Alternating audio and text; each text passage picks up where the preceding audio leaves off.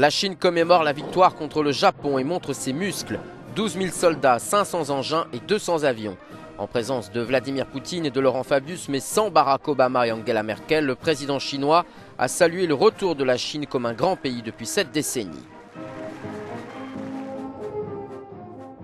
Une parade pour le 70e anniversaire de la capitulation de Tokyo qui avait mis fin à la Seconde Guerre mondiale.